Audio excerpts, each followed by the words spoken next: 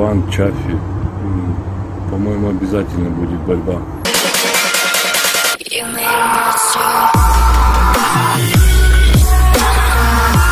Ну, блядь, посмотри конференцию арм по армрестлингу, Hardcore Fighting, там кулачные бои.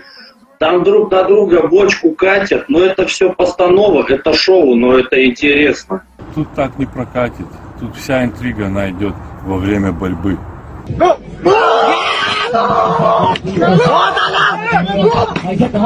Многие там сейчас обсуждают этот там школьник, скулбой с этим, с бодибилдером, да? Но все, блядь, это смотрели, все это видели, все за ними следили. А насчет Бабаева и Олейникова, я наблюдаю, что Олейников не тренируется вроде.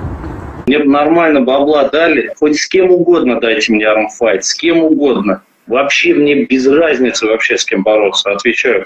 Любая весовая категория, любой соперник. Герои нашего сегодняшнего выпуска. Юлия Тачинска, Вадим Олейников и Заурбек Ходов. Сегодня с нашими героями мы разберем такие вопросы как Нужно ли армрестлингу идти по пути кулачных боев? Придаст ли это популярности нашему виду спорта? Порассуждаем о раскладе сил спортсменов перед предстоящим турниром ТОП-8. Поговорим о женском армрестлинге и о поединках в неспортивных соревнованиях. И о многом другом. Устраивайтесь поудобнее, запасайтесь попкорном. А мы начинаем. Ливан Сагинашвили идей в Чафе. Многие наши подписчики пророчат легкую победу Ливану. И пишут, что грузинский Халк как танк проездится по своему американскому сопернику. И борьбы здесь ждать не стоит. А что на это скажешь ты, Заурбек? Будет борьба. Ну да, я думаю, будет борьба, мне кажется. Ливан, Чафи. По-моему, обязательно будет борьба. Потому что, ну, Ливан, все наблюдаем, что он в очень хорошей форме. И я думаю, это его пик, наверное. А когда человек на пике, он, наверное, уже не набирает настолько, как раньше. Так что я бы не мог сказать, ну, да, я думаю, все-таки будет там борьба. А насчет Бабаева и Олейникова, ну, я не знаю, я, я наблюдаю, что Олейников не тренируется вроде, ну, если я не ошибаюсь. Не могу ничего сказать. Бабаев тренируется. Я думаю, Бабаев выиграет, наверное. Мне нормально бабла дали, хоть с кем угодно дайте мне армфайт, с кем угодно. Вообще мне без разницы вообще с кем бороться, отвечаю. Любая весовая категория, любой соперник, лишь вопрос в цене. Месяца сейчас четыре, я с Ларатом бы спокойно вышел бы и пободался. От, от чего отталкиваться, я даже не знаю. Э, ну, Не могу точно сказать, когда это будет, что перенесут, кто в какой форме. Это так, вот если бы спросили, допустим, вот завтра, э, я бы сказал поточнее. А так, я не знаю, кто-то готовится, кто-то не готовится. Из-за пандемии бывают какие-то там отсрочки. Трудник Брестон. Ну, я думаю, Брестон выиграет. Да, Дикан Брезенк. Ну да, не знаю, интрига. Интрига всегда бывает, наверное. Но мне кажется, Дадикян выиграет. Он очень крепкий парень. И сейчас, наверное, ну, э, Дадикяну намного интереснее и в приоритете выиграть, нежели Брызенку. Потому что у Брызенко уже вряд ли такой настрой будет. И возраст у него, наверное, уже не тот. С каждым годом, да, он сильный, не слабый, но все равно, мне кажется, Дадикян выиграет. Припустим, если тебе сейчас поставили дядю Киана. Тоже все понятно. Сейчас поставить Дадикяна, он меня через стол перевернет. Сейчас. Ну да, он готовится к кому? К Джону, да, Брезенку, да, да, да. Да. Петренко тоже там готовится к этому Римкусу, да, мне кажется? Да, с Римкусом он. Не, мне кажется, Рай выиграет Римкуса. Серьезно? Думаешь, Петренко не выиграет? Я думаю, Петренко его не почувствует даже вообще никак. Я, да, я тоже так думаю. Ставь лайк. Кто же у нас самый известный спортсмен в армрестлинге? многие там сейчас обсуждают этот там школьник, скулбой с этим бодибилдером, да? Но все, блядь, это смотрели, все это видели, все за ними следили. Хоть один там школьник, но зато этот школьник самый популярный армрестлер в мире, можно сказать.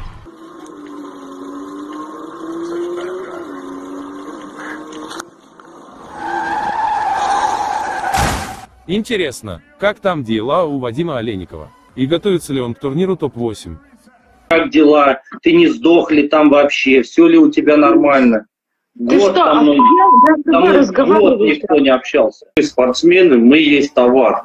Нас продают. Ну а если личные бестолковые какие-то, то что продавать? Тебе спонсор говорит, например, спонсор, который, ну вот просто чувак, у которого куча бабла, вот он, а что такое армрестлинг? Когда ему приходят, показывают какой-нибудь, вот там надо нам провести турнир, там, не знаю, Ну так мотокроссу. посмотри, нужно подготовиться. А там мотоциклы крутятся, вертятся. Это круто, красиво. И армрестлинг. Да. Стол покажет. Я готовился, я занимался. Да, я, я уважаю своего соперника.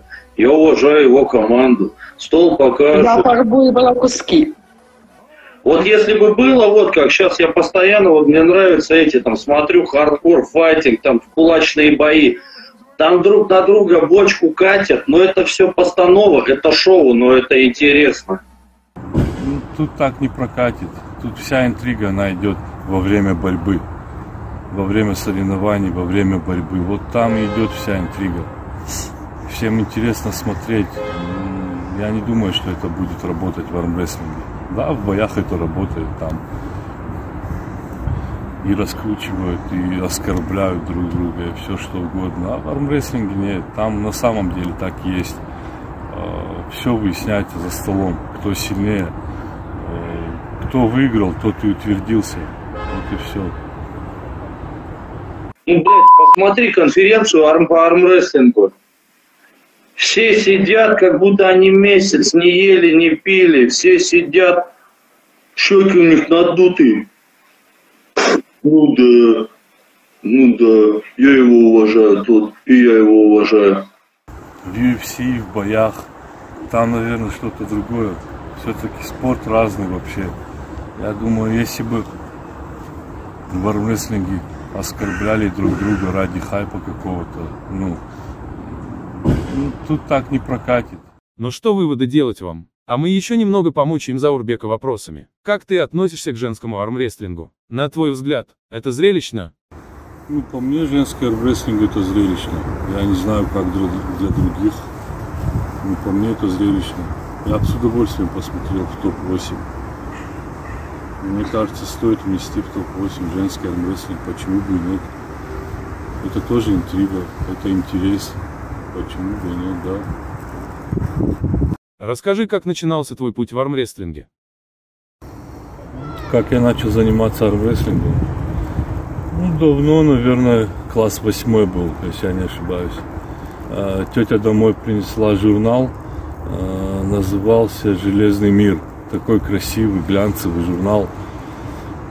А, И там увидел фотку своего брата. Ну, там была борьба, армрестлинг, фрагмент. Ну, я тогда загорелся, конечно. А для парня что тогда надо было еще?